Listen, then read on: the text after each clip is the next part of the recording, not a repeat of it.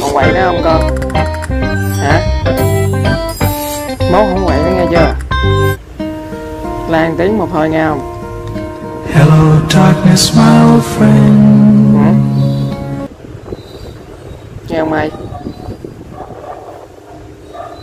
Bớt quậy nha